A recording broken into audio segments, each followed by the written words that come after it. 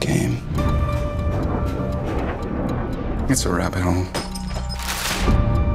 After only four moves, there's more than 300 billion options to consider. We can take you very close to the edge. Taught him to move like this.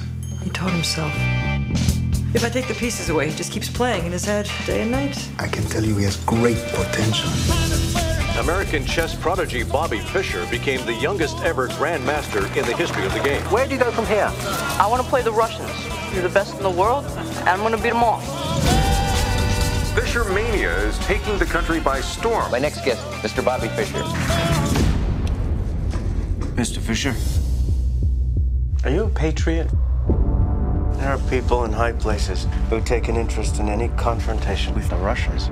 I don't really care about politics. You're the one man in this country who could put up a fight. Bobby Fischer is in Iceland for his match with the world champion Boris Spassky. It's the chess version of a 15 round heavyweight prize fight.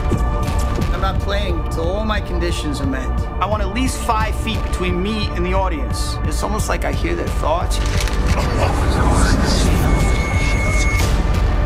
Bobby has problems. Bobby is displaying signs of paranoia and delusional psychosis. Hey! I'm coming for you! I'm coming for you! We're at war. It's a war of perception. Bobby, Bobby! The poor kid from Brooklyn against the whole Soviet Empire.